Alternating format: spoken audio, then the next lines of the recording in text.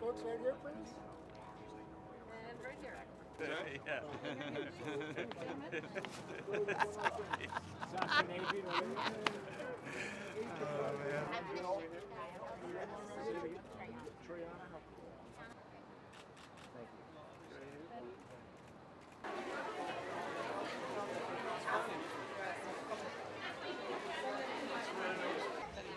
Let me take one that's not a selfie. Martian crust.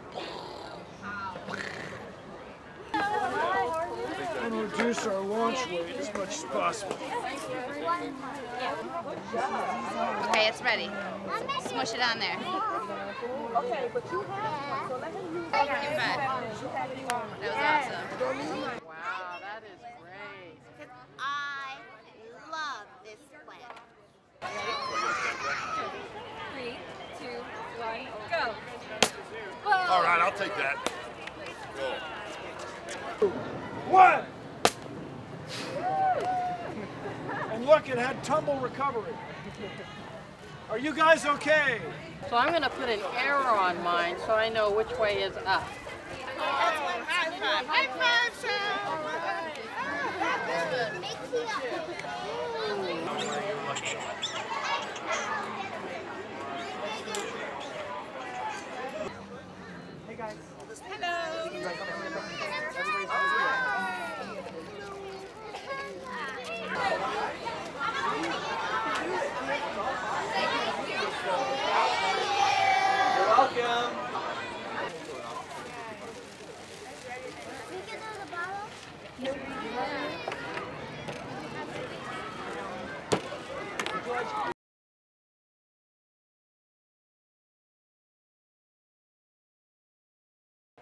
Uh, everyone you ever meet who's exploring Pluto right now got a lifelong passion for science before he or she was 10 years old.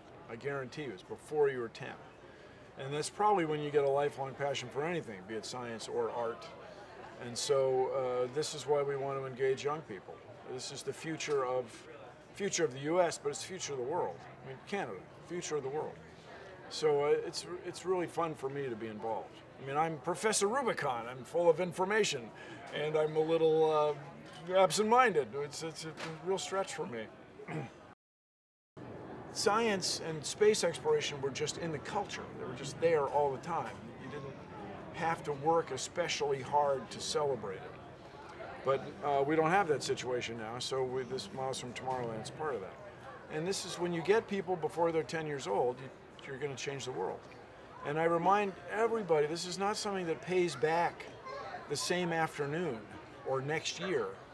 This is a 20 or 30 year investment in the future, getting young people excited about science, technology, engineering, art, and math.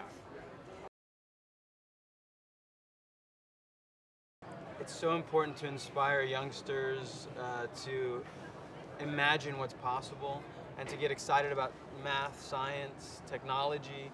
You know, we need we need youngsters to grow up and put their energy towards innovations of the future so that we can be a better society and we can usher in a new era of technology and civilization. But it's such an important show not only because it's it's a lot of fun for kids, but also it helps to cultivate uh, an, an excitement for science and, and, and technology and, and, and just dare to imagine what's possible. In this day and age, too many people are, especially young people, are so focused, you know, on their phones and down. Sometimes we got to put our phones down and look up and remember that we're part of this enormous galaxy full of possibility. I was so lucky to have my mother, who is a scientist. She's a neonatal nurse practitioner. She has so much education in biology and all of these. Uh, she actually teaches now.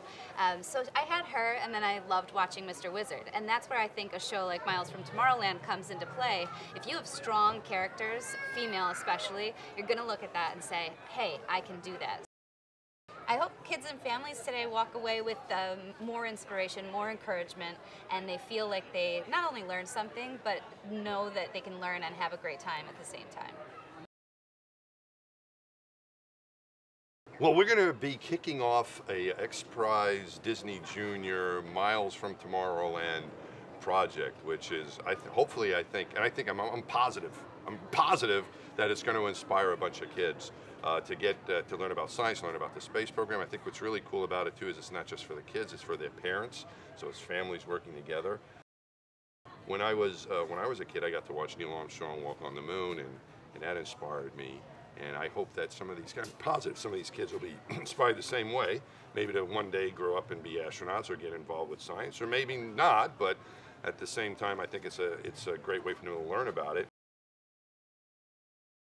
The reason that I wanted to be here today, and I think it's so important, is that space is, is available to everybody.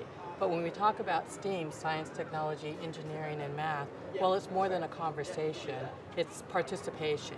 And when you team STEAM with hands on, first hand, upfront participation, now you've got adventures and learning that have come alive. This kind of solution can serve as a tool for children of all ages, all over the world, in the classroom and out, on the planet and off, to all come together and have an opportunity to not just change the game, but change lives. When I was a kid, I was not that great at science, I have to be honest. I was really into it, but I didn't do that well at school. And to me, the arts, for me, the arts was an entry point into science. And getting to tell the stories of Miles and his family was a way for me to learn more about science and to explore technology and technological advancements. And I hope that Miles inspires kids who might not think of themselves as sciencey or science kids to really look further because there's so much in science for everyone. We know that there's going to be a great need for scientists and engineers and people in the tech fields, and the best way to make sure that we have people who can handle those challenges in the future is to excite them when they're young kids, which is exactly what we think Miles from Tomorrowland does.